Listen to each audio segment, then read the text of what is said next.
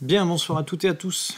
On se retrouve euh, ce soir pour une cinquième émission, euh, une émission qui va être euh, consacrée à un personnage qui est inévitable en cette année euh, 2021, puisque, vous le savez, nous allons fêter demain le bicentenaire de sa mort. C'est bien évidemment Napoléon Bonaparte, Napoléon Ier, l'empereur Napoléon Ier, dont nous allons parler, dont nous allons parler ce soir.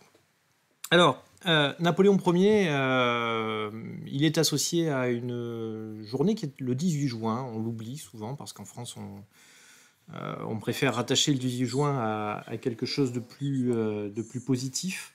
Mais le 18 juin 1815, c'est la date de la bataille de Waterloo, la défaite ultime de, l'empereur Napoléon qui le conduit à l'exil, un exil là aussi définitif, cette fois-ci à Sainte-Hélène. On va en reparler.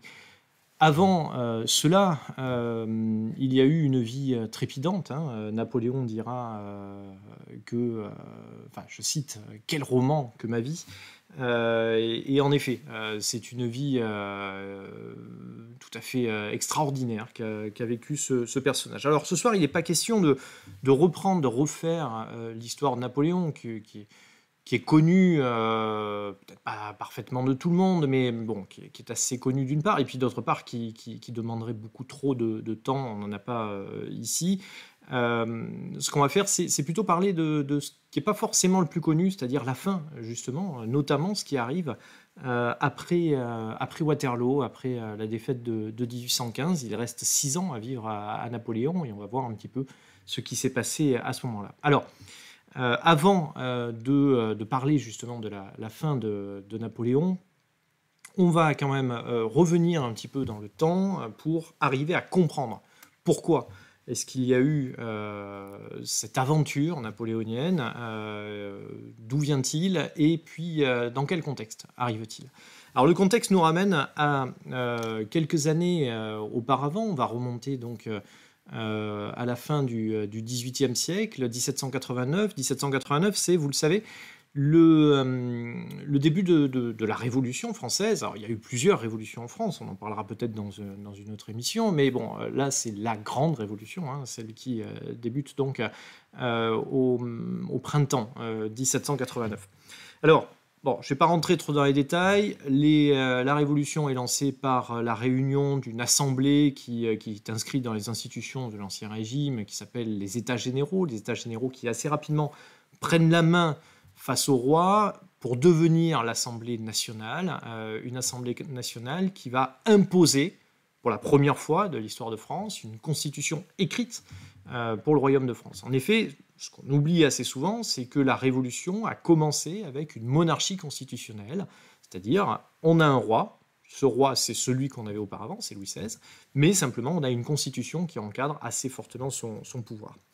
Bon, ces, premiers euh, mois de la Révolution, euh, 1789, 1790, 1791, les, les trois premières années, on va dire, de la Révolution sont des années qui sont extrêmement riches en termes de grands principes posés. C'est la période de l'abolition des privilèges, c'est la période de, euh, la souveraineté nationale, euh, c'est la période de la déclaration des droits de l'homme et citoyen, bien évidemment. Bon, toute une série de, de grands principes. Il y en a un qu'on néglige souvent et qui pourtant a une importance considérable dans l'histoire de France c'est euh, la nationalisation des biens du clergé, c'est-à-dire que les biens de l'Église sont saisis et vendus aux Français dans des conditions sur lesquelles je ne vais pas rentrer, euh, mais ça provoque un- une redistribution des richesses qui est fondamentale. hein. C'est la révolution sociale euh, qu'on a, ici.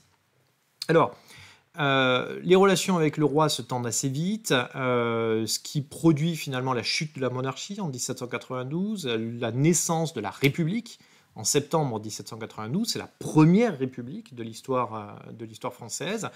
République qui va très rapidement dégénérer en conflit, en conflit de... euh, on ne peut pas parler de parti politique bien sûr à cette époque, de faction on va dire, euh, qui euh, débouche sur la mise en place dans les faits d'une dictature, euh, une dictature d'assemblée. C'est pas la dictature d'un homme euh, du point de vue institutionnel, c'est une assemblée qui, euh, qui dirige la France, euh, qui s'appelle la Convention, donc à partir de 1700, bon, 1792, mais ça se renforce en 1793. Et bien sûr, c'est l'époque où il y a un homme qui euh, prend une espèce de leadership, même si c'est pas encadré juridiquement, encore une fois, c'est Robespierre, en 1793. 1794, Robespierre, finalement, est entre guillemets abattu, puis exécuté, guillotiné par ses, adversaires. Et on entre sur une dernière période de la Révolution, euh, ce qu'on appelle la, période thermidorienne. Alors, pourquoi ce terme? Ça renvoie en fait à, hum, au calendrier révolutionnaire. Les révolutionnaires, en, effet, ont adopté un nouveau calendrier et ont changé le nom des mois, en gros. Et donc, euh, thermidorienne, ça renvoie à Thermidor. Thermidor, c'est euh, le mois à l'époque où il fait chaud, hein, donc on est euh, juillet, euh, au mois de juillet-août, enfin ça correspond à juillet-août à peu près de 1794, c'est le moment où a, chuté Robespierre, hein, donc à la fin du mois de juillet 1794, Thermidor. Et donc la période thermidorienne, c'est la période qui est gouvernée par les gens qui ont fait tomber Robespierre. Des gens qui vont installer une nouvelle organisation de la République qui s'appelle le Directoire, une organisation dans laquelle, on va le voir, hein, euh, on va y revenir, euh, il y a une grande faiblesse du gouvernement, euh, beaucoup de corruption également, et c'est dans ce cadre du directoire que Napoléon Bonaparte va émerger. Alors, revenons encore une fois un petit peu dans le temps, décidément c'est une soirée flashback, hein, on va revenir un petit peu plus en avant, enfin en arrière plutôt, dans le temps, puisqu'on va remonter à 1769. Le 15 août 1769, né à Ajaccio, en Corse, euh, le petit Napoléon euh, Bonaparte. Alors, Bonaparte, euh, Napoléon Bonaparte est le, deuxième fils d'une grande famille, hein, qui, est appelé à jouer un rôle de tout premier plan dans l'histoire européenne. il naît dans une famille de la petite noblesse corse. Euh, une Corse qui est depuis euh, l'année précédente, 1768, française. Hein, auparavant, euh, la Corse était rattachée à Gênes, en Italie. Et donc, bon, après une tentative d'indépendance corse, hein, qui a finalement été matée, la France a mis la main sur la Corse donc, en 1768. un an près, en gros, Napoléon ne naissait pas français. Mais bon, il naît français avec un père qui, même s'il s'est battu un temps dans les rangs de, la Corse euh, indépendante, euh, a très vite pris le parti des Français et a pris le projet d'intégrer au mieux sa famille dans la société française. Et euh, dans ce cadre-là, le père Bonaparte, Charles, va réussir à par ses relations, notamment avec le gouverneur de l'île de Corse, réussir à obtenir une bourse pour, euh, pour le jeune Napoléon, ce qui va euh, lui permettre de euh, l'envoyer dans des écoles militaires en France en France métropolitaine. Et le petit Bonaparte, donc, assez tôt, hein, dès, ses 10 ans, en fait, va entrer dans des écoles militaires à Autun, à Brienne, etc. Ce qui va lui permettre d'entrer dans l'armée, en fait, hein, et plus précisément dans l'artillerie. Euh, dans laquelle il, se retrouve au tout début de, euh, de, la Révolution française. Alors, dans les années 1700, au début des années 1790. Bon, Bonaparte euh, est donc un, officier, hein, mais bon, à une époque où l'armée française est en plein bouleversement. l'armée française traditionnelle, celle de l'Ancien Régime, est en pleine déliquescence. Les officiers ont disparu, donc il y a un grand renouvellement de, des officiers, ce qui permet à des des soldats euh, assez méritants euh, de pouvoir progresser assez rapidement dans la hiérarchie, euh, la hiérarchie militaire. C'est ce qui va se passer avec, avec Bonaparte qui se fait repérer. alors, excusez-moi, j'ai un petit problème de, diaporama, j'ai l'impression. Voilà. Donc, qui se fait repérer en, 1793, à l'automne 1793 dans le, le siège de Toulon, en fait. Hein. Bon, je ne rentre pas trop dans les détails. Toulon euh, est entre les mains des adversaires de Robespierre euh, qui euh, ont appelé à l'aide les Anglais. Et donc, bon, Toulon se retrouve entre les mains des Anglais qui sont les ennemis, vous le savez, des Français depuis très longtemps et qui sont bien sûr là dans le camp des ennemis de la Révolution. Et donc, Bonaparte fait partie de, de l'armée. C'est certainement pas son armée, hein, il est un officier de, euh, de la petite armée qui, est, euh, qui va euh, être chargée de, de, libérer, de libérer Toulon. Et, et, là, il se fait remarquer parce que stratégiquement, il a des bonnes idées, ce qui permet de lever le siège de, Toulon, de libérer Toulon. Et bah, Bonaparte, ça lui permet de se faire, de se faire remarquer.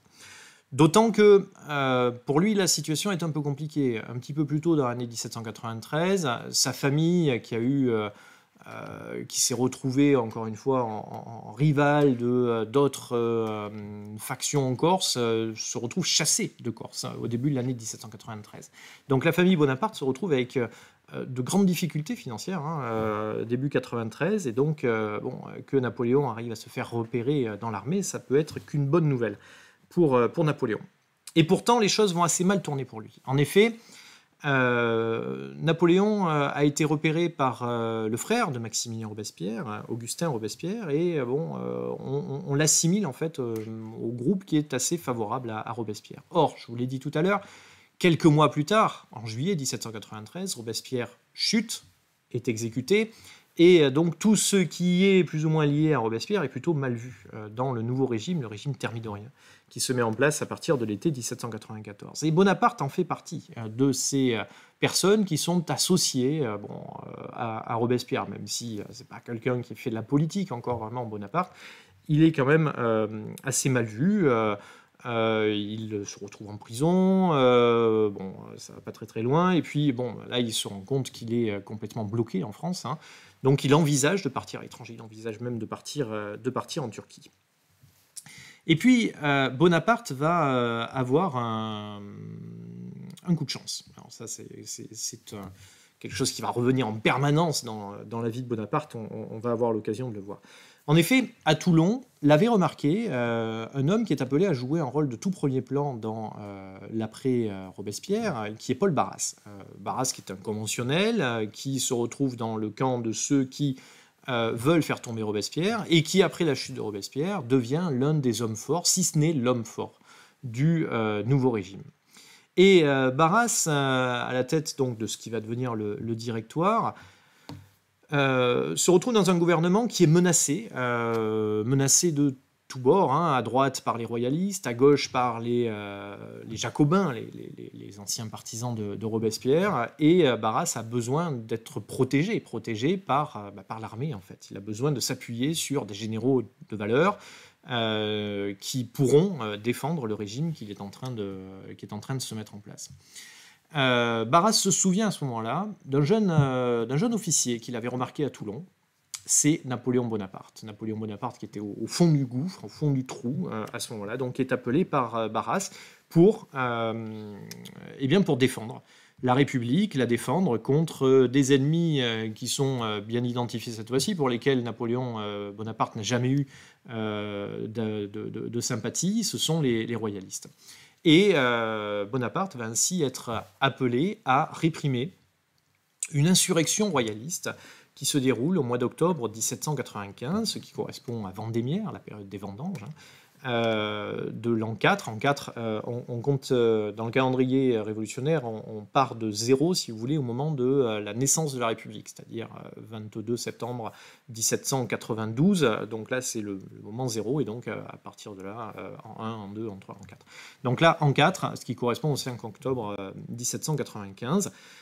Euh, face à ces royalistes qui euh, essaient de marcher vers le, gouvernement, eh bien, Bonaparte utilise la manière forte, c'est-à-dire euh, les canons, c'est-à-dire les fusils, il tire sur la foule et il disperse cette, cette, cette insurrection, ce qui en fait un sauveur de la République. Et là, sa progression va être fulgurante. dans les jours qui suivent, il devient général de division, général en chef de l'armée de l'intérieur. À la fin du mois d'octobre 1795, il est devenu un des personnages incontournable à Paris. Il a même le, pris le surnom, reçu le surnom de général Vendémiaire, euh, celui qui est intervenu et qui a sauvé la République hein, à Vendémiaire. Donc euh, il euh, commence à fréquenter les meilleurs salons parisiens. toutes les portes s'ouvrent devant lui. Donc lui qui était au fond du trou quelques mois auparavant, il est au sommet. Donc dans la, la, meilleure société parisienne à la fin de l'année 1795. C'est d'ailleurs à cette occasion, dans ces salons parisiens, qu'il rencontre des gens, et notamment des femmes, qui le fascinent, lui, ce petit provincial, qui, bon, qui, qui, voit s'ouvrir le, grand luxe de la période thermidorienne. La période thermidorienne, c'est un moment où on a une volonté de, renouer avec le luxe et, euh, et une vie qui avait été un petit peu oubliée euh, pendant la période vertueuse entre guillemets de, Robespierre. Et parmi ces, femmes qui le fascinent, hein, il rencontre Joséphine de Beauharnay, une euh, jeune veuve. Hein, elle était mariée à un général qui a été exécuté au début de la, enfin tôt, deux ans plus tôt, pendant la pendant la Révolution, et assez rapidement, bon, Napoléon et Joséphine vont se rapprocher, ils se marient. Euh, en mars 1796. Euh, l'année suivante. Euh, et Napoléon est éperdument amoureux de Joséphine. D'ailleurs, il va le rester hein, toute sa vie. malgré le fait que Joséphine, très rapidement, va se révéler assez volage. en tout cas, tant qu'elle n'a pas encore compris avec qui elle s'était mariée. Alors, la carrière de, Napoléon euh, se poursuit. Euh, en effet, devenu maintenant un général absolument incontournable, il est envoyé par euh, le Directoire en Italie pour, bah, parce que la France est en guerre à peu près contre une grande partie de l'Europe, hein, et notamment contre l'Empire d'Autriche. Et euh, alors que le gros des troupes françaises euh, se battent contre les Autrichiens euh, sur le Rhin, on essaie de faire diversion avec une petite armée qui est confiée donc au général Bonaparte, qui doit attaquer l'Autriche par le sud, par l'Italie. Et cette petite armée de diversion va se révéler par le génie de Bonaparte, l'armée qui va faire battre, qui va permettre à la France de battre l'Autriche et contraindre l'Autriche à la paix, alors même que les grosses armées qui se trouvaient sur le Rhin euh, était plutôt euh, tenu en échec. Euh, Napoléon sait en plus utiliser cette campagne d'Italie pour servir une propagande. Hein. Il tient un journal, je l'écris pour l'essentiel, qu'il envoie régulièrement à Paris pour tenir Paris informé de ce qui se passe, tenir l'opinion publique informée de ce qui se passe, et il commence à construire là son mythe dans, dans ces victoires remarquables qu'il remporte, qu'il remporte en Italie. Après euh, euh, ces, victoires italiennes, le directoire commence à s'inquiéter un petit peu de la popularité considérable de Napoléon. Napoléon est devenu l'homme le plus populaire de France après la campagne d'Italie, après la victoire contre les Autrichiens, et euh, le directoire décide à ce moment-là de l'envoyer et de l'éloigner dans une autre mission, en Égypte. alors pourquoi l'Égypte? Parce que L'Égypte, euh, c'est une pièce maîtresse de l'empire anglais, euh, de l'empire britannique, hein, puisque les Britanniques ont conquis au cours du XVIIIe siècle l'Inde, en éliminant les Français d'ailleurs, qui étaient installés là-bas. Et donc, pour passer de euh, l'Angleterre à euh, l'Inde, il faut passer par l'Égypte. C'est la voie la plus, la plus courte. Et donc pour les Anglais, c'est vital d'avoir un contrôle sur l'Égypte. Même si l'Égypte n'appartient pas à l'Angleterre, c'est quelque chose qui est vital. Évidemment, si la France s'empare de l'Égypte, c'est un gros problème pour, pour les Anglais. Et donc Napoléon est envoyé en Égypte pour s'emparer de l'Égypte, qui est entre les mains des, euh, Mamelouks hein, euh, au sein de l'Empire, euh, ottoman. Il remporte des victoires, mais il est également mis en échec assez rapidement. la situation se, retrouve un petit peu, se retrouve dans une situation un peu compliquée en fait. en Égypte et en Syrie, où il intervient par ailleurs. Bref, ça se passe pas extrêmement bien. Euh, et pendant ce temps-là, la situation a tendance à dégénérer en France, euh, où euh, le directoire subit coup d'État sur coup de force, où bon, le, pouvoir semble être vraiment à, porter pour quelqu'un qui aurait l'autorité, qui aurait la volonté de, s'en emparer.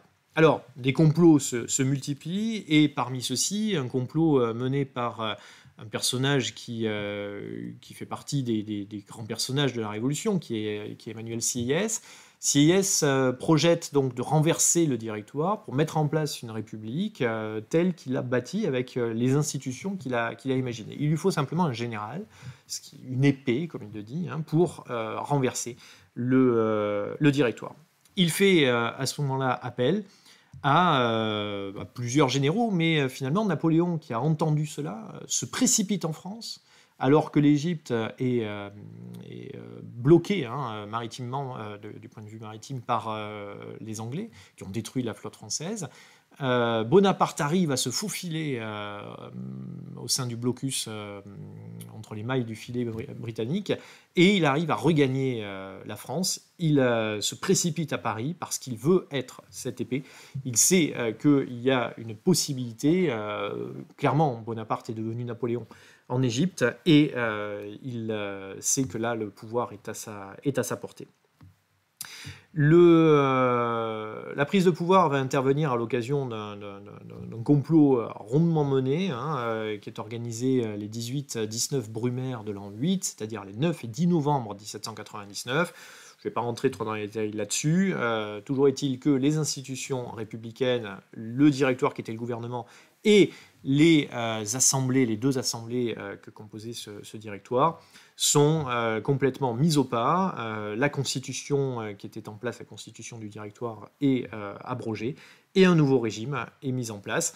Un nouveau régime dans lequel la place première va être tenue par, eh bien par, par Bonaparte. Bonaparte qui va réussir à manœuvrer suffisamment bien, de manière suffisamment autoritaire pour réussir à prendre ce complot à son compte et s'imposer comme le nouveau euh, chef d'État. Ce nouveau régime s'appelle le consulat.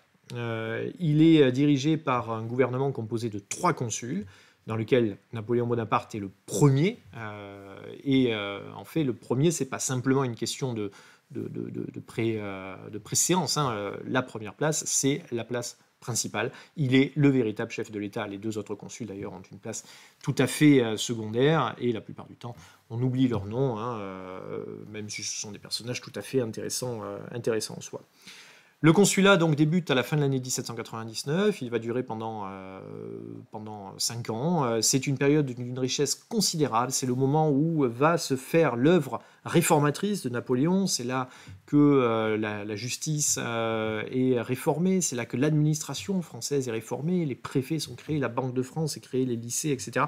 Bref, je ne rentre pas dans les détails, c'est une période sur laquelle on, pourrait faire une émission elle-même, peut-être qu'on en fera une à l'occasion. le génie réformateur de, Napoléon s'exprime vraiment dans cette période du début du consulat. C'est à ce moment-là, bien sûr, qu'est adopté également le Code civil, l'une des principales œuvres de, euh, de, cette, période, de cette période consulaire. Mais Napoléon euh, a d'autres ambitions. Il veut aller plus loin.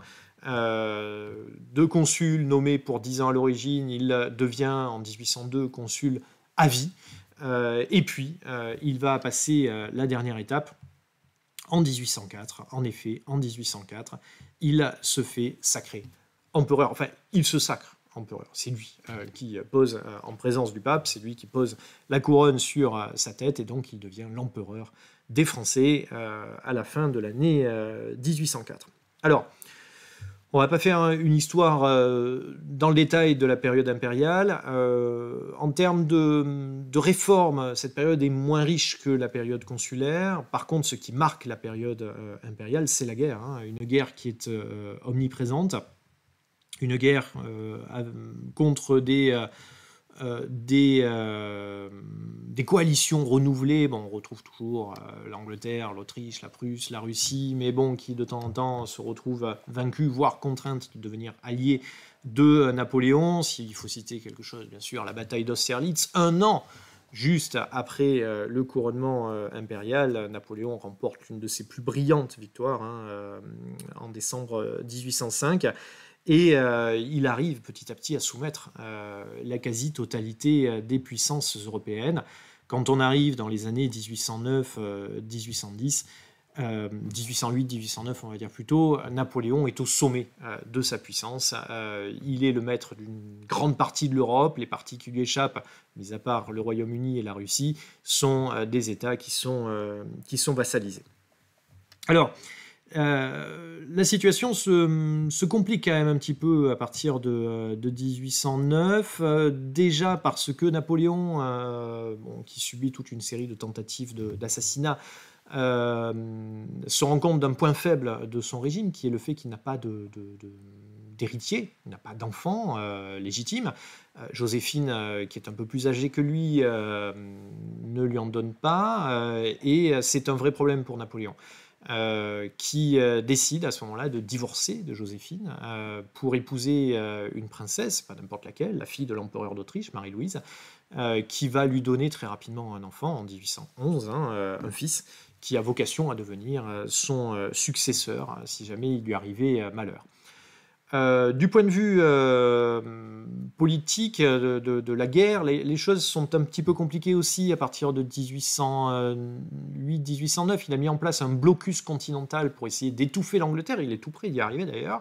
Mais euh, le blocus est très difficile à tenir. On a des révoltes, notamment en Espagne, dans lesquelles l'armée française s'enlise hein, et connaît de grandes difficultés. Et puis, ce qui est censé, la grande puissance qui est censée être une alliée de la France, qui est la Russie, euh, se révèle être une alliée assez peu, euh, fiable. Et donc en 1812, en, euh, fin du printemps 1812, Napoléon se lance dans une aventure extraordinaire hein, de la conquête de, de la Russie. C'est la campagne de Russie. Napoléon se lance avec une armée fantastique de plusieurs centaines de milliers d'hommes, 600 000 hommes, la grande armée qui part donc à l'assaut de la Russie et qui avance très rapidement en Russie. Euh, Napoléon se retrouve à l'automne 1812 euh, à Moscou, euh, en ayant vaincu dans... il y a eu assez peu de combats finalement, mais bon, l'avancée a été, a été fulgurante. Mais les choses vont se retrouver assez rapidement, les choses vont devenir assez rapidement délicates, puisque les Russes brûlent Moscou, contraignent la France, l'armée française à rebrousser chemin, et là, elle rebrousse chemin dans des conditions très compliquées, puisque l'hiver est euh, tombé. Là, vous avez une carte que j'ai oublié de vous mettre. Hein. Vous voyez la domination française, donc échappe simplement à la domination française qui est en rouge. Euh, et donc, euh, à l'automne 1812, Napoléon et ses troupes sont contraintes de, eh bien, de rebrousser chemin. C'est la retraite de Russie. Dans l'hiver russe, c'est une une catastrophe. Hein. Euh, les troupes euh, meurent, euh, les soldats meurent en, masse, beaucoup désertent. bon, chacun essaie de faire comme il peut, tout cela sous le harcèlement des, Russes. Et donc, lorsque l'armée revient en Pologne en décembre 1812, le bilan est, épouvantable. Hein. C'est quelques dizaines de milliers d'hommes qui restent là dans cette armée sur euh, les 600 000 qui étaient partis en, Russie. C'est un signal pour les autres puissances européennes. Le signal que l'armée française, que Napoléon n'est pas invincible, et euh, là, c'est le réveil des autres puissances, euh, des autres puissances européennes. Alors, même si Napoléon réussit à, reconstituer une armée, il va se retrouver très rapidement en, grande difficulté. Il est vaincu dans une bataille très importante, qui est la bataille de Leipzig en octobre 1813. Et là, euh, il se retrouve à faire face à une coalition qui comprend les Russes, qui comprend les Prussiens, qui comprend les Autrichiens, qui euh, déferle sur, euh, sur la France. Même si en 1814, Napoléon se défend bec et ongle dans une très belle campagne de France, il est vaincu et il est contraint à l'abdication au mois de mars 1814. alors, cette abdication de, de Napoléon eh bien, est assez encombrante pour les, euh, euh, pour les, puissances, les puissances européennes. Que va-t-on faire de Napoléon? Euh, On décide de l'envoyer sur l'île d'Elbe. Alors Elbe, c'est une petite île paradisiaque de la Méditerranée, hein, vous le voyez, au large des côtes de Toscane. Elbe qui est à quelques dizaines de kilomètres finalement, quelques centaines on va dire, de, kilomètres des côtes françaises une île d'Elbe que l'on donne en pleine souveraineté à Napoléon. C'est-à-dire que Napoléon est empereur d'Elbe.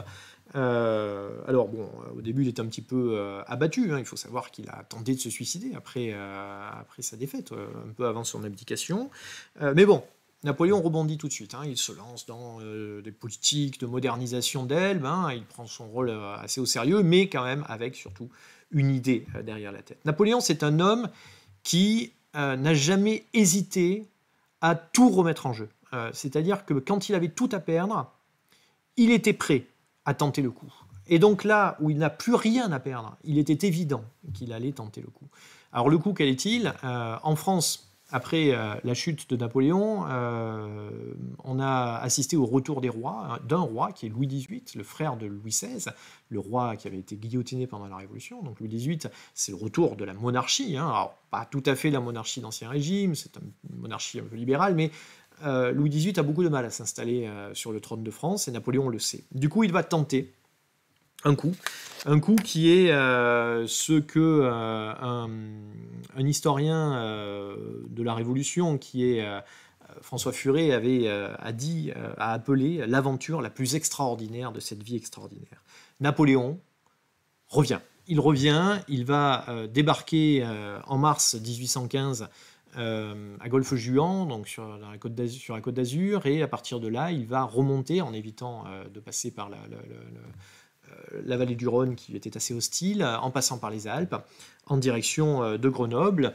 Un peu avant Grenoble, il rencontre l'armée française, et là, alors qu'il s'est présenté quasiment seul face aux fusils euh, de l'armée envoyée par Louis XVIII, euh, disant aux soldats bah, écoutez, si vous ne voulez pas me reconnaître comme empereur, euh, tuez-moi, je suis à votre portée. Eh bien, les soldats vont se rallier à Napoléon. évidemment, c'est un tournant. Louis XVIII a compris que la situation devenait assez compliquée et Napoléon va pouvoir à ce moment-là prendre la direction de Paris pour retrouver son pouvoir. Alors, il revient à Paris donc et tout de suite il va euh, s'engager dans une politique euh, qui s'annonce pacifique, il ne veut plus euh, la guerre, en tout cas c'est ce qu'il dit, mais bon, c'est pas lui qui décide. En effet, en face de lui, il y a les puissances européennes qui avaient été coalisées contre lui, qui étaient à ce moment-là réunies à Vienne en train de discuter d'un traité qui scellerait le sort de la France révolutionnaire.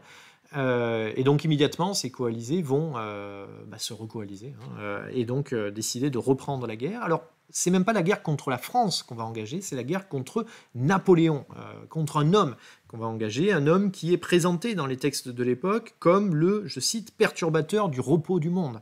Donc on fait la guerre à Napoléon. Alors Napoléon se retrouve donc contraint d'y retourner. Alors c'est plus tout à fait le même, il a vieilli, hein, euh, c'est plus le Napoléon de la campagne d'Italie incontestablement, ou même celui d'Austerlitz, il a plus le même regard sur le champ de bataille, et ça, ça va euh, peser euh, assez lourd dans les événements qui vont suivre. Napoléon arrive à réunir une armée, tant bien que mal, puisque la France, bah, il y a des soucis financiers, hein, il a beaucoup de mal à réunir cette armée, mais il arrive à réunir quand même une armée qui prend la direction de la Belgique, il euh, rencontre l'armée prussienne une première fois, qu'il bat, mais qu'il n'écrase pas comme il avait coutume de le faire, et il se retrouve donc euh, à devoir livrer un nouveau euh, combat, cette fois-ci contre les Anglais à Waterloo, en Belgique donc. les Anglais et les Prussiens qu'il n'avait pas écrasés et qui vont venir rejoindre les, Anglais à Waterloo ça a suffi pour donner le gain. Ça s'est pas joué à grand chose, hein, puisqu'il y avait des, renforts qui sont arrivés aussi pour la France, mais trop tard. Napoléon est vaincu donc le 18 euh, juin 1815 à Waterloo. Euh, cette défaite, euh, Napoléon a tendance à la minimiser assez rapidement. Pour lui, il va pouvoir se refaire, il va retourner à Paris, il va reprendre une armée, il va retourner au combat.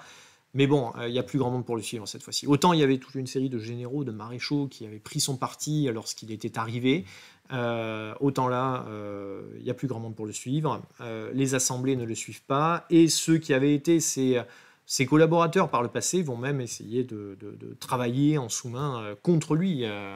C'est notamment le cas de son ancien ministre de la police, Fouché, qui est le principal à, agir, qui est le principal personnage à agir là contre Napoléon pour le contraindre à, à l'abdication. Et Napoléon, va euh, bah, en tirer toutes les conséquences. Hein. Il est euh, à nouveau contraint à abdiquer. Le 22 euh, juin 1815, c'est la fin de ce qu'on a appelé les 100 jours, hein, trois gros mois qu'a duré cette, cette aventure assez exceptionnelle. Alors il abdique avec des conditions, en disant que bah, il abdique au profit de son fils, le jeune Napoléon II, euh, bon, dans les faits, euh, Napoléon II, euh, qui est à ce moment-là à la cour d'Autriche, hein, il est retourné chez son grand-père, n'est pas du tout en état de, prendre le pouvoir, bien sûr, et il n'y a pas grand monde qui veut, qui veut cela. Donc Napoléon va à ce moment-là eh bien être dans une situation un peu compliquée. il est d'une part, les coalisés sont pas encore à Paris, puisque même si Napoléon est vaincu, l'armée française continue à livrer bataille contre les coalisés, à, retenir les coalisés, et puis le gouvernement en place, cette espèce de gouvernement intérimaire, donc avec notamment Fouché aux affaires, ne sait pas trop quoi faire de, Napoléon. Napoléon, lui, espère bien avoir une issue euh, honorable. Il espère partir aux États-Unis. Euh, il a des, ambitions encore. Hein. C'est un homme qui, qui, ne lâche rien. Euh, et bon, on a des discussions pour essayer d'obtenir un, passeport qui lui permettrait de quitter la France pour les États-Unis, de passer le blocus britannique. Mais bon, ça traîne. Alors Napoléon quand même part en direction de l'Atlantique. Euh, à Rochefort. Il est euh, au début du euh, juillet donc sur la côte atlantique, en attendant ce, navire qui devrait lui permettre de partir, pourquoi pas, vers les États-Unis. Ce navire n'arrive pas, il n'y a pas grand monde finalement qui veut le laisser passer, et certainement pas les, Britanniques. Du coup, Napoléon préfère à ce moment-là en tirer les conséquences et se rendre. Il se rend aux Britanniques, il se rend assez, assez vainqueur. Euh, en espérant que ceux-ci euh, en tireront les, conséquences, respecteront euh, celui qui est un souverain, en tout cas c'est comme ça qu'il se voit, et bon, lui permettront peut-être d'aller vers les États-Unis ou peut-être, pourquoi pas, le ramener en Angleterre où il pourrait, qui sait, prendre sa retraite. Je ne sais pas s'il y croit lui-même à cette idée de, retraite, mais bon, il y a un moment, quoi qu'il en soit, qui dure quelques jours, hein, où il y a une grande incertitude que va-t-on faire de, euh, de ce passager un peu euh, encombrant qui se retrouve sur un navire euh, britannique de son plein vouloir, hein, c'est ainsi qu'il le présentera, mais qui se retrouve en fait assez rapidement prisonnier sur ce navire britannique et le Bellérophon. Alors, finalement, les Britanniques font, le, capitaine du Bellérophon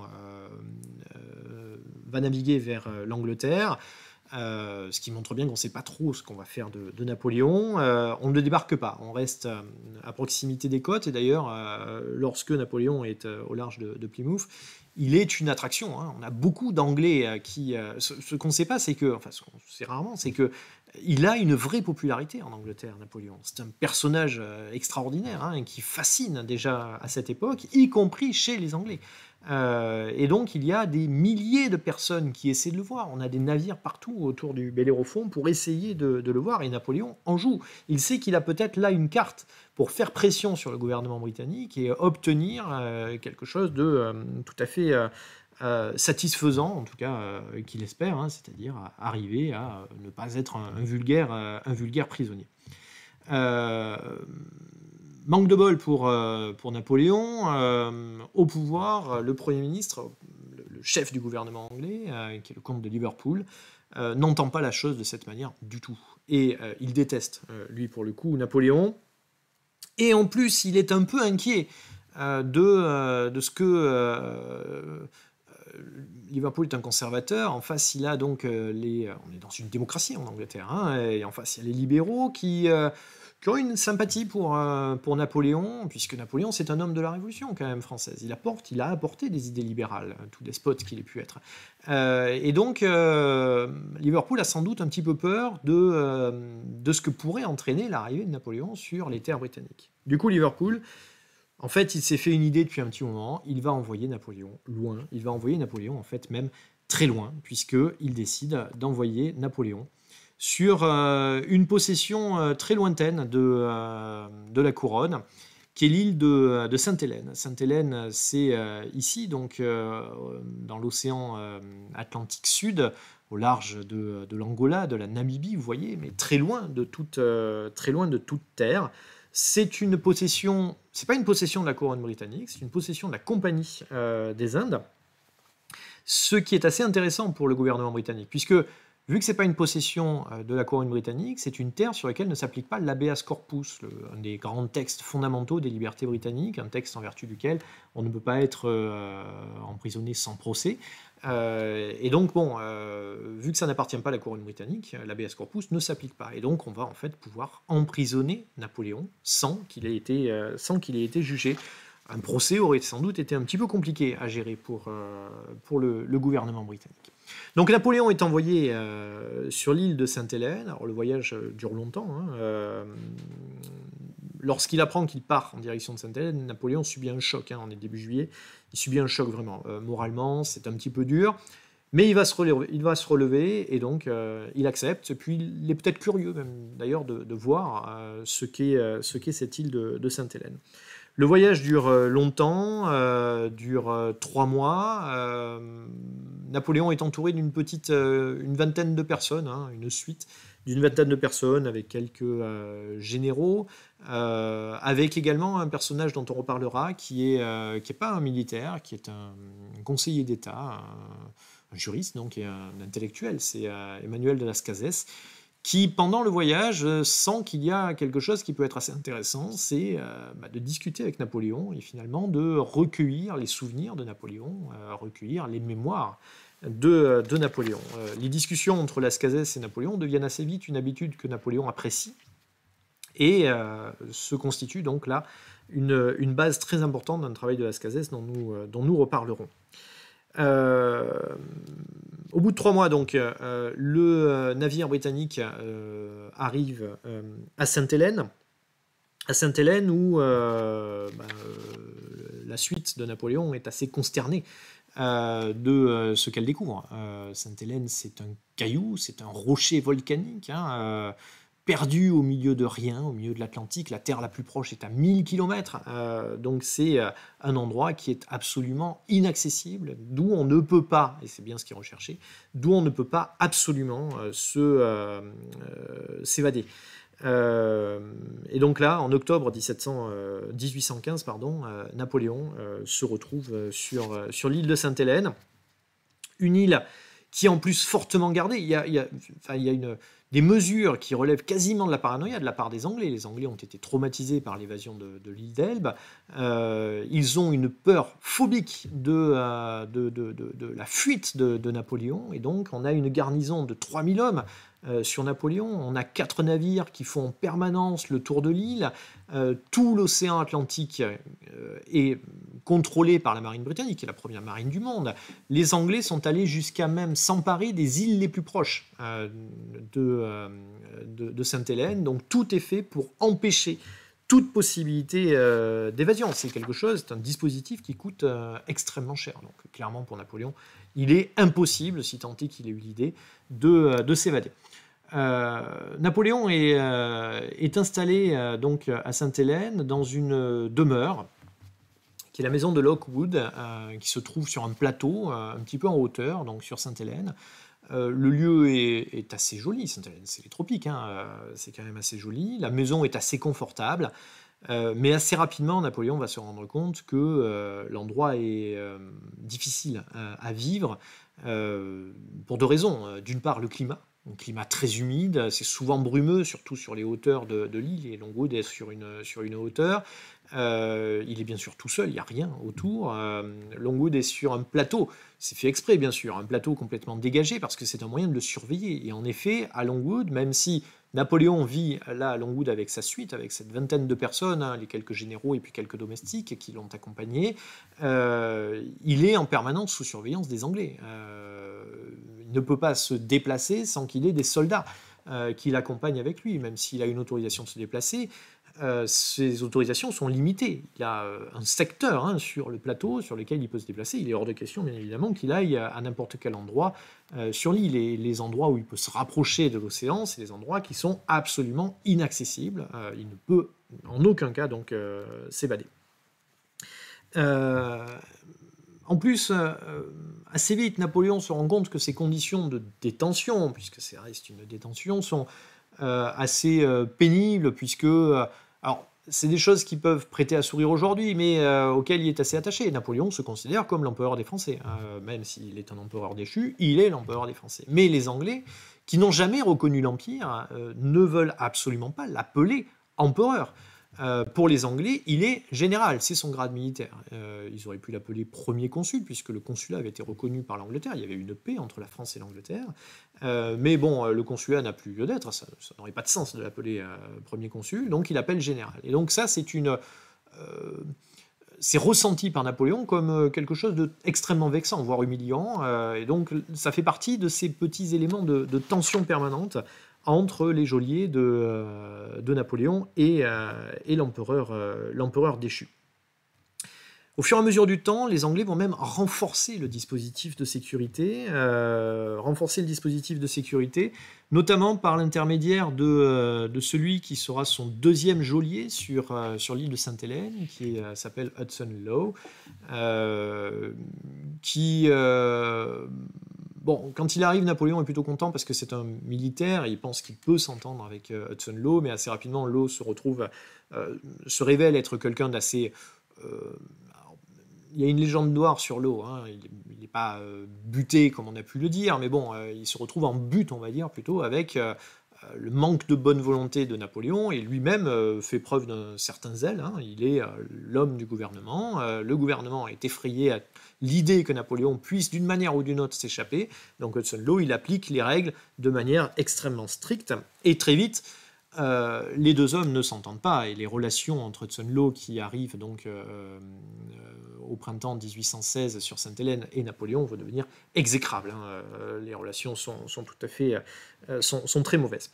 Euh, Napoléon maintient quand même un semblant de vie impériale, puisque au sein du domaine de, Longwood, qui, est tout petit, hein, il maintient une étiquette, on l'appelle l'empereur, on a toute une série de, euh, de, dispositifs qui restent en place pour rappeler qu'il est euh, quand même euh, qui il est, même si les Anglais ne le, reconnaissent pas. Mais il n'en demeure pas moins qu'apparaît assez rapidement une évidence. On s'ennuie à mourir sur, sur Sainte-Hélène, il n'y a rien à faire dans ce tout petit microcosme de Français autour de, de Napoléon qui complotent les uns avec les autres. il y a des histoires on va dire, euh, sentimentale qui se noue, puisque Napoléon euh, euh, prend parmi les femmes de sa suite une maîtresse, qui était également l'épouse d'un des généraux qu'il avait suivi. Donc bref, il y a des rivalités entre les généraux pour savoir qui est le favori, etc. Bon bref, les choses sont assez compliquées. Il y, a, même deux généraux qui sont sur le point de se livrer duel, on va dire,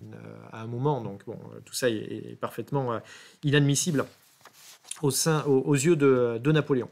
Euh, malgré ce, climat, euh, on va dire, euh, au sens figuré du terme cette fois-ci, tout, à fait, tout à fait mauvais, tout à fait délétère, Napoléon garde espoir. Hein.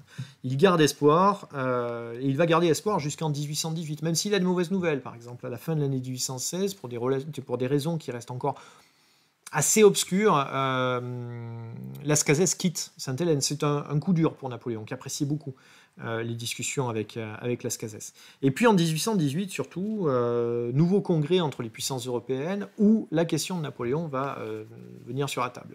Qu'est-ce qu'on fait de Napoléon? Est-ce qu'on le laisse à Sainte-Hélène? Est-ce qu'on l'envoie quelque part ailleurs? Bon, la question se pose. Et les, les, puissances européennes prennent une décision nette et sans discussion au final. On va laisser à Sainte-Hélène. Et on va le laisser de manière définitive à Sainte-Hélène. C'est-à-dire que Napoléon va mourir à Sainte-Hélène. Euh, lorsque Napoléon apprend cela, donc euh, en 1818, c'est un coup euh, extrêmement dur pour lui.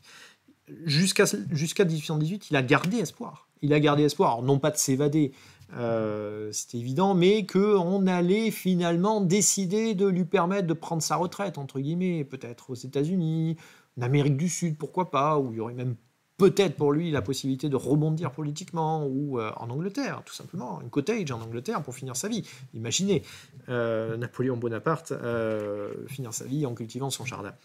Bon, le jardinage, il en a fait un petit peu d'ailleurs à Sainte-Hélène. Mais bon, les, puissances européennes ont, décidé d'autre chose.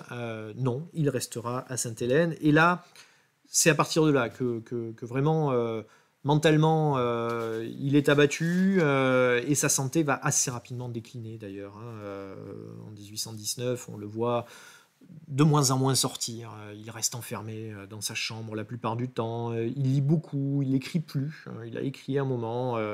Bon, sa santé vraiment se dérègle en plus. Hein. pendant un an, il n'a plus été soigné alors qu'il a des, problèmes, des problèmes hein, d'estomac. Alors pour lui, c'est un problème c'est un problème euh, euh, qui vient de son père, hein, qui, est mort sans doute d'un cancer de l'estomac. et donc Napoléon se plaint beaucoup de l'estomac. Et pourtant, pendant un an, quasiment, il n'a plus de médecin.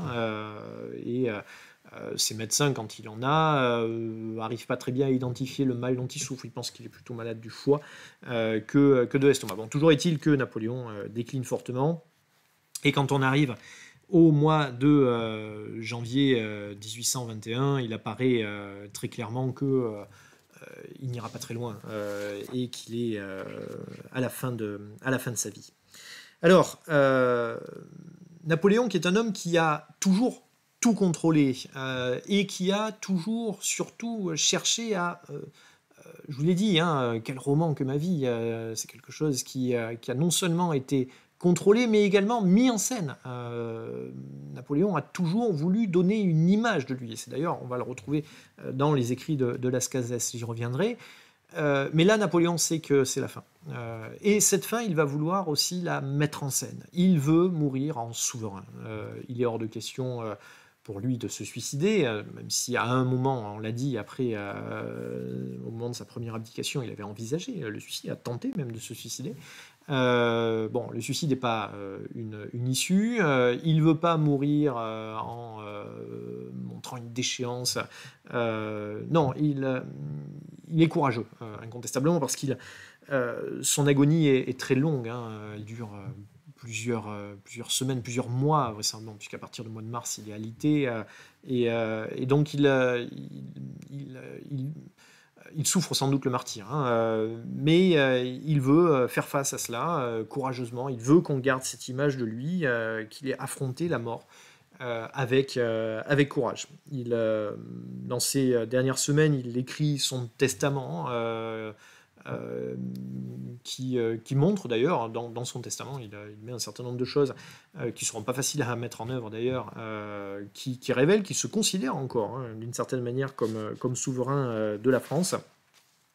Et bon, la fin arrive assez rapidement. Ces médecins qui sont assez partagés sur son mal vont sans doute l'accélérer. Alors non seulement ces médecins vont sans doute augmenter ses souffrances, puisqu'on lui fait des saignées ou ce genre de choses qui euh, ne correspondent pas du tout à, son mal, puisque vraisemblablement il a, il une, ulcère à l'estomac, ça on le sait, euh, qui provoque sans doute une micro-hémorragie interne, euh, et bon, ils lui font des saignées, donc ça va accélérer un petit peu le mal. Au début du mois de mai, la situation dégénère. les médecins décident d'utiliser des méthodes qui étaient des méthodes courantes à cette époque, euh, en lui euh, administrant euh, eh bien une boisson à base de mercure hein, pour, pour, essayer de, combattre un petit peu le mal. Le 4 mai, alors ça va un petit peu l'améliorer. Lui, il a refusé les, médicaments, mais bon, là, il va accepter cela qui lui est donné par son homme de confiance, qui est son, son, son, son, son, valet, et il va donc boire cette mixture qui sur le coup va un petit peu améliorer euh, sa situation, mais qui va le tuer en fait euh, le lendemain, enfin qui va accélérer sa mort. Hein. Il n'est pas mort euh, à cause de ça, mais ça a accéléré sans doute sa mort. Le, le 5 mai 1821, en fin d'après-midi, Napoléon donc rend ce que Chateaubriand, qui était un de ses, adversaires, hein, grand écrivain romantique bien sûr, Chateaubriand dira que Bonaparte a alors rendu le, euh, le plus puissant souffle de vie euh, qui ait jamais animé euh, l'argile humaine. bon, on retrouve évidemment toute la beauté des écrits de, de Chateaubriand ici. Alors, la, mort de, Napoléon, bon, évidemment, source de tristesse pour, pour sa suite. même le gouverneur Hudson Law reconnaît, rend hommage à Napoléon. Et les Anglais vont être assez Autant ils n'ont pas fait vraiment de cadeaux hein, euh, dans les années qui ont précédé, autant après la mort de Napoléon, ils vont euh, euh, suivre au plus possible les, volontés du défunt. C'est ainsi qu'il est enterré dans un endroit qu'il appréciait sur, sur Sainte-Hélène, la vallée des Géraniums, qu'on appelle aujourd'hui la vallée du tombeau, puisqu'elle a été rachetée par la France à la fin du 19e siècle, sur lequel donc euh, dans euh, cette vallée, donc Napoléon, dans un endroit qui fait partie des plus, jolis endroits sans doute de, Sainte-Hélène. Napoléon est donc euh, enterré. Alors pour la petite histoire, on va l'enterrer déjà dans, l'enfermer hein, dans, dans un tombeau qui quatre niveaux de, tombeaux, quatre niveaux donc qui, vont l'enfermer, on, en reparlera parce que ça, a son importance pour la suite, et donc sous une pierre tombale vierge. Vierge parce que les Anglais et les Français n'ont pas réussi à se mettre d'accord sur ce qu'on allait graver sur, euh, sur la pierre tombale. Hein. Euh, les euh, Français voulaient que l'on grave l'empereur, Napoléon bien sûr. Les Anglais, eux, bah, veulent écrire Général Bonaparte, et donc, bon, bah, évidemment, on ne se met pas d'accord, et finalement, on garde une, une, tombe vierge. Donc Napoléon meurt le 5 mai 1821 son décès euh, est, connu en France euh, deux mois euh, plus tard, début juillet, donc ça vous montre encore une fois à quel point on était loin à Sainte-Hélène. Et lorsqu'on apprend le décès de, Napoléon en, France, il n'y a pas énormément de réactions en fait. Pas de réaction nationale en tout cas. Il y a quelques réactions individuelles peut-être, mais pas de réaction nationale. Il faut dire que la France a pas mal évolué. Louis XVIII a réussi, parce que après, je ne l'ai pas dit, mais euh, après la deuxième abdication, euh, on a un petit peu tergiversé pour savoir ce qu'on allait faire de la France, et finalement, euh, on s'est rendu compte qu'il n'y avait pas beaucoup d'autres possibilités que de rappeler une nouvelle fois Louis XVIII. Et Louis XVIII a, su, cette fois-ci, s'imposer par une monarchie assez libérale. Il est assez apprécié. on a oublié hein, la période impériale, on a un peu oublié Napoléon, sans doute ça va rester vrai ça pendant euh, à peu près un an et demi, jusqu'à ce que, euh, au début de l'année 1823, euh, paraisse le mémorial de Sainte-Hélène d'Emmanuel de, Las Cases. Las Cases, vous vous souvenez, celui qui avait été le confident de Napoléon pendant son voyage à, Sainte-Hélène et ensuite sur l'île de Sainte-Hélène, donc pendant les, premiers temps, pendant la première année où il était à, à Sainte-Hélène. Las Cases fait sortir donc ce mémorial. Alors, le mémorial de Sainte-Hélène, c'est les mémoires de Napoléon, d'une certaine manière, mais réécrit par Las Cases. Donc bon, euh, qu'est-ce qui est de Napoléon, qu'est-ce qui est de Las Cases, c'est pas toujours facile de, faire la distinction. Et puis d'autre part, c'est écrit en 1815-1816, hein, euh, c'est-à-dire un moment où Napoléon pense qu'il a encore un avenir en Europe peut-être. Euh, voire en France. et donc Napoléon écrit des mémoires qui ont vocation à servir pour le futur de sa carrière, parce qu'il y croit encore. Euh, et donc, il a tendance à présenter les événements qu'il a vécus sous un tour qui est à son avantage. Euh, euh, il se présente, et Las Cases a sans doute appuyé là-dessus, hein, comme quelqu'un de libéral. C'est vrai sous certains aspects, mais politiquement, non. Napoléon était un, despote, hein, ça c'est incontestable. Donc, on a des éléments qui sont assez intéressants là-dessus. Mais bon, peu importe. Ce qui va être important, par contre, c'est que le mythe Napoléon va naître à ce moment-là. Euh, le mémorial transforme Napoléon en mythe. Euh, en mythe, d'autant plus que 1823-1824, Louis XVIII meurt en 1824, c'est son frère Charles X qui le remplace. Charles X est un roi autoritaire, un roi qui n'a pas tout à fait compris que la France avait évolué, lui pour le coup, et qui euh, voudrait revenir à l'ancien régime. Donc là, on a face à cela la mémoire de Napoléon, libéral, fils de la Révolution, euh, défenseur de la nation française face à un roi qui est assez terne. Euh, la France n'a plus la place qu'elle a pu avoir. Euh, la gloire, c'est le passé, quoi, en France à ce moment-là. Et puis, et puis un roi autoritaire, un roi liberticide, hein, ce qui va provoquer d'ailleurs sa chute avec la Révolution de, 1830, qui va faire tomber donc Charles X. Le, mémorial est un vrai tournant hein, dans, l'histoire de Napoléon. Alors, euh, Napoléon donc euh, refait surface, on va dire, dans, euh, dans l'histoire de France, et eh bien, le souverain français va devoir en tenir compte. En 1830, je vous l'ai dit, Charles X est renvoyé et, renversé hein, par la révolution qui est appelée la, révolution des, Trois Glorieuses au mois de juillet, parce que ça a duré trois jours. Au mois de juillet 1830, il est remplacé par un nouveau roi, qui ne se fait pas appeler roi de France cette fois-ci, mais roi des Français, qui se veut et qui se présente comme un roi libéral, c'est Louis-Philippe, qui est un cousin hein, du, précédent, euh, du précédent roi. Et euh, Louis-Philippe va prendre une décision pour, d'une certaine manière, dans son esprit, c'est essayer de calmer un petit peu ce mythe napoléonien qui est un peu gênant quand même politiquement, et puis d'autre part pour bien se faire voir aussi par les libéraux.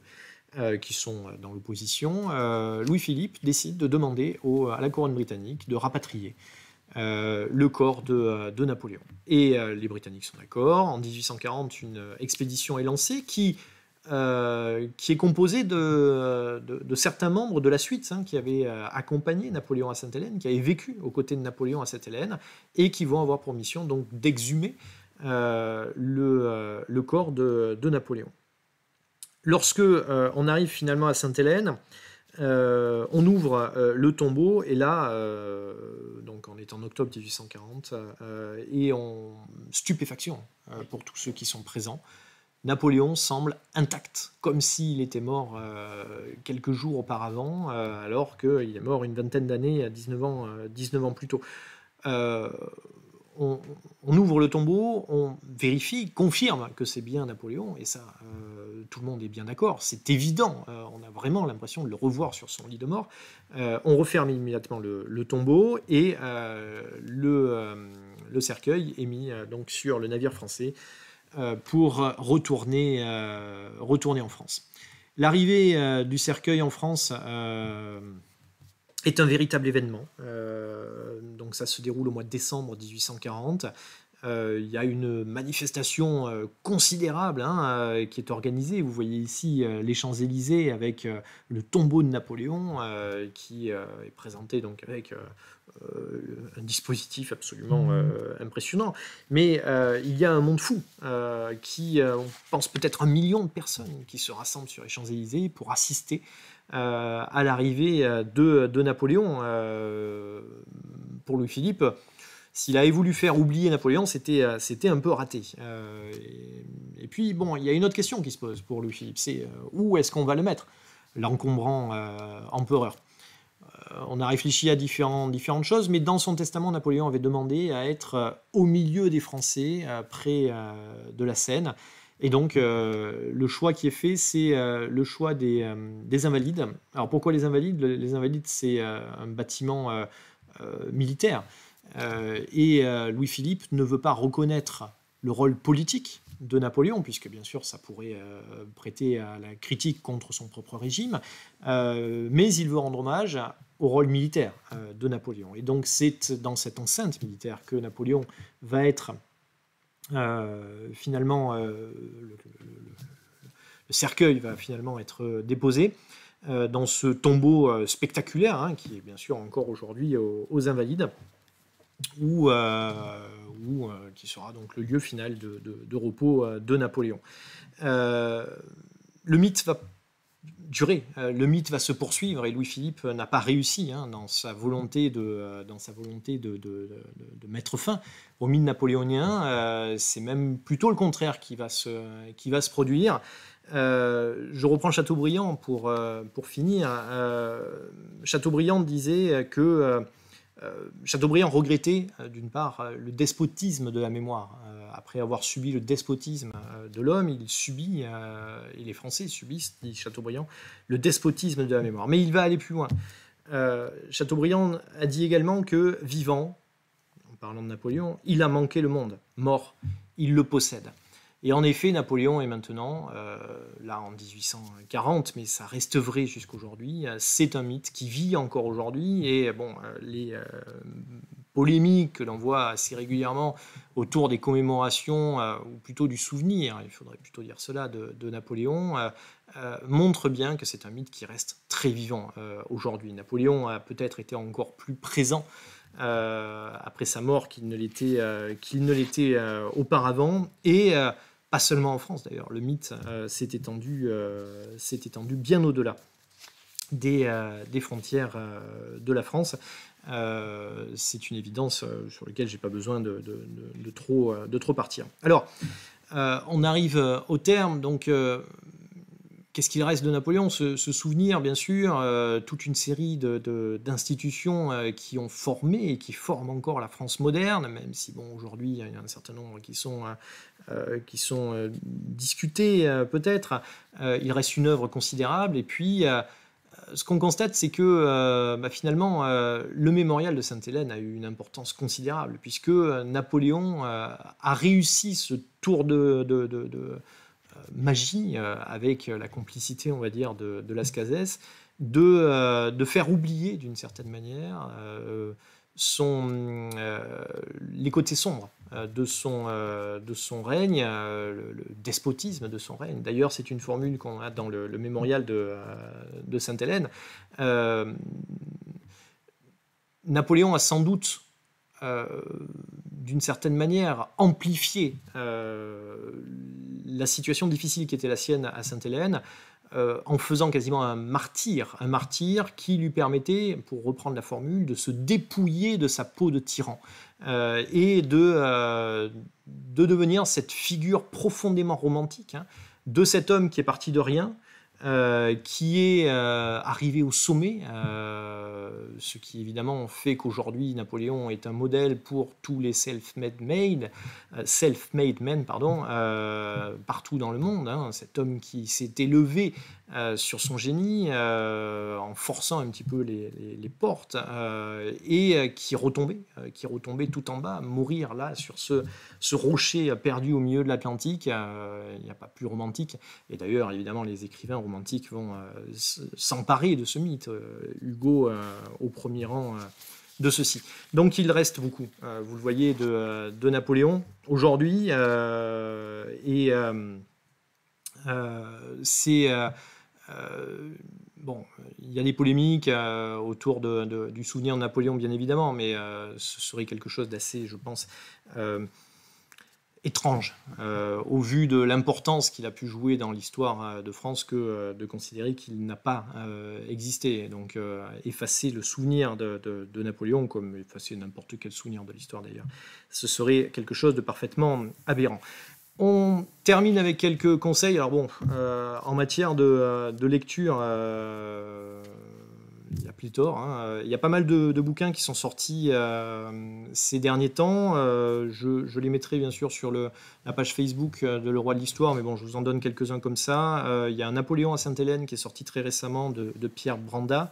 il y a également le dictionnaire historique Napoléon, de Napoléon de, Thierry Lenz, le, le, je crois, de la, Fondation Napoléon, qui a un site internet qui est extrêmement riche, hein, vers lequel je vous, euh, je vous renvoie.